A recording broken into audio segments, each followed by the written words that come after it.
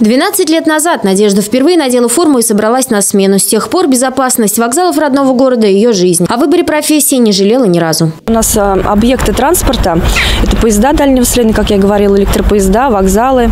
Ну так, интересная работа очень. В любую погоду, в любое время суток сотрудники патрульно-постовой службы – те люди, благодаря которым на железнодорожных станциях всегда спокойно. Спектр полномочий широк – от пресечения хулиганств и распития алкоголя до помощи тем, кто потерялся или почувствовал себя нехорошо. Бывают и более серьезные случаи. Начинала я с патрульно-постовой службы.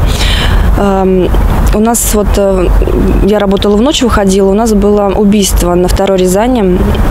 Э, мужчина э, убил женщину. Ну, тоже по горячим следам он был пойман. Раскрытие было. Вот он на данный момент, я так думаю, еще сидит, наверное. Был случай, когда я приехала проверять наряд несения службы на первой Рязани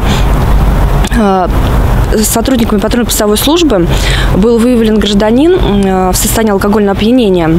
И у него были поддельные документы сотрудника вот, что вызвало у меня подозрение, потому что данный гражданин он был не похож на сотрудника. По этому случаю сейчас проводится проверка. За 12 лет службы Надежда видела многое, но для нее это просто работа. И она утверждает, что научилась справляться с эмоциями. Есть э, такие моменты, которые бывает становится страшно, но потом понимаешь, что нужно действовать как сотрудник полиции, а не как гражданин. Именно транспортные полицейские проверяют электрички, сопровождают детские поезда во время летних каникул следят за любителями рисковать и перебегать железнодорожные пути в неположенных местах. Ежедневно через вокзал Рязань-1 проходит около 90 поездов. За прошедший год выявлено почти 3000 нарушений. Это в среднем 8 нарушений в сутки. А справляться с ними приходится тем, чья служба на первый взгляд неприметна, но очень важна. Марина Комиссарова, Игорь Глотов, телекомпания «Город».